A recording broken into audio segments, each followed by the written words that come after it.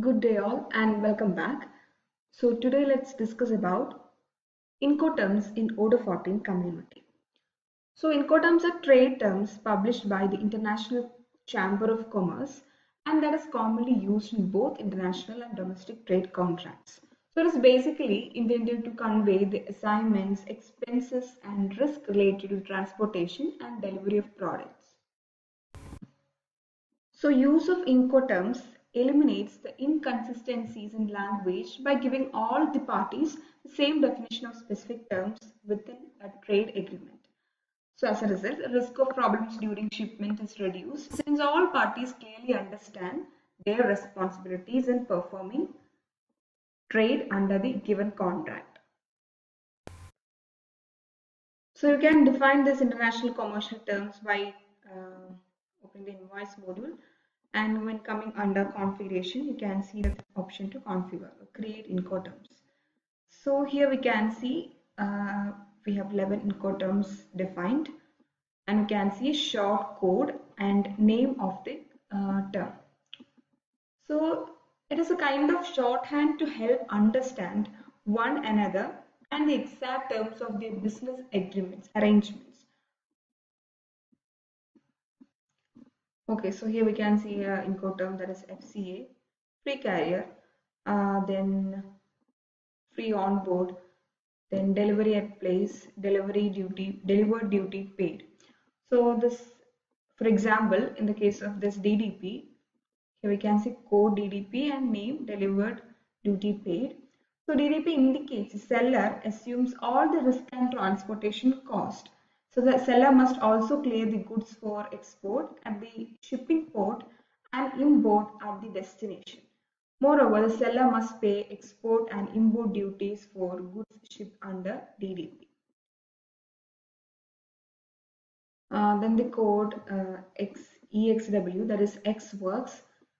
So under this Incoterm, seller is only required to make the goods available for pickup at the seller's business location or another specified location. So under this Incoterm that is EXW, the buyer assumes all the risk and transportation cost. So like this way each term indicates uh, that is gives some message to the buyer or seller. So the parties involved in the trade get a clear idea about their responsibilities. Okay, now let's check the configuration settings.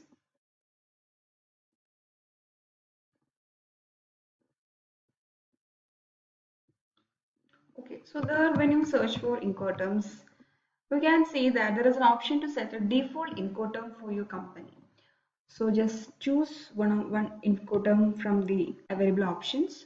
Okay, so if I set um, free carrier, can see this set. And if you want to just go to external link you can see the code and name of this Incoterm okay so you can set this whole company.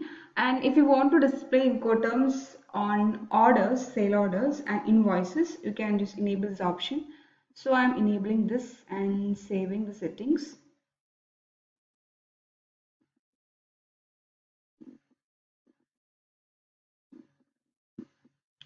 Okay, so now let's create a customer invoice.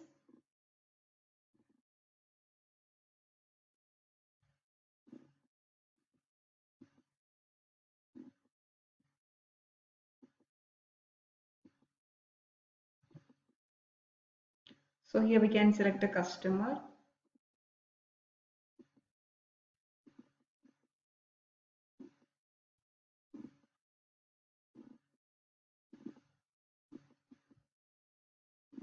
okay so after setting delivery address uh, sorry payment reference invoice date and due date you can add the product products here. Okay so then here we have a tab that is other information. So here under accounting section you can find an option uh, that is to add the incoterm that is international commercial term for your invoice. So here you can see by default free carrier uh, Incoterm is set. This is because we have set this as a default Incoterm for a company. And if you want to change this uh, it for your invoice, you can change from here. So right now I'm not changing this one. So I can save this and confirm the invoice. So in the same way, you can also define that is set an Incoterm, international commercial term for your sale order and purchase order. So if you go to sales module,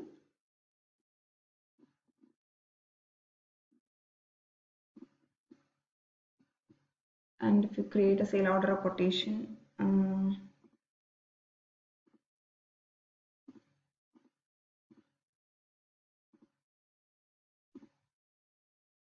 Okay, so here under delivery section, you can find that option to set the Incoterm for your quotation. So you can select one from here and use it for your quotation. And you can confirm the quotation. And the same way when you go to purchase module, there also when you're creating a um, request for quotation or purchase order, you can set Incoterm.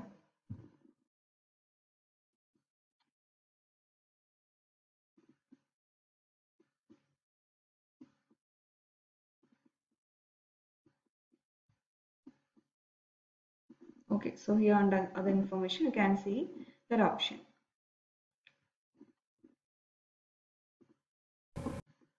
so that's how we create configure and make use of incoterms in odoo 14 community if you are interested in knowing more about this or looking for any Odoo implementation or customization in your business, drop your request to odoo at